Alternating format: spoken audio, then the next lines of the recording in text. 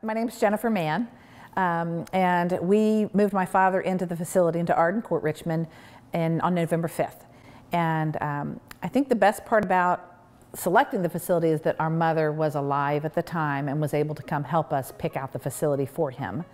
So she was able to tour it, and after having visited several others, um, tour it, to get a feel for it, we both just loved it right away. We loved the open architecture, the light, um, the town concept was just, um, it was perfect. When we looked at other facilities, it really was obvious where we needed to be. Um, a lot of the other facilities are just so hospital-like, so that was not something we were interested in. So the facility is incredibly nice. The room was available, so there was no waiting, which was perfect because I think a lot of times when families make that decision that it's time, it's time. It's not it's time not six, not, six months later or you know 30 days later, it's time now. Um, his first night or two was probably the toughest.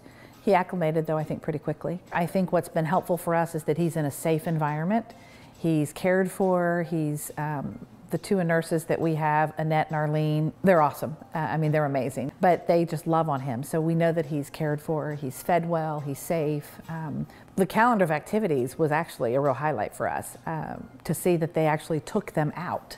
You know, he's gone to lunch at Mission Barbecue many times or Olive Garden, and just the fact that they load him up and take him out to lunch has been it's been fun. I've gone a few times to kind of just help out and be there, and it's been fun to see. They have like a uh, exercise class where even if they're just throwing a, a balloon around or something or pom poms, it's moving them. And um, the courtyard, we go out there all the time to walk. Um, of course, I love it when I hit ice cream social day.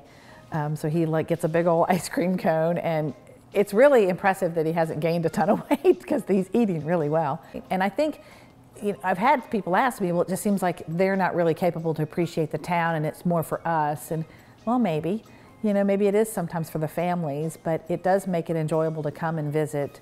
And you've got all kinds of comfortable different pockets to be part of and, and to enjoy time with him. So what it's, the blessing it gives me is the ability to come and live life on his terms in a nice, comfortable environment. So it's been, it's been really a lovely facility and, and I would recommend it to anyone who's, who's got a family member that is in that dementia, Alzheimer's world.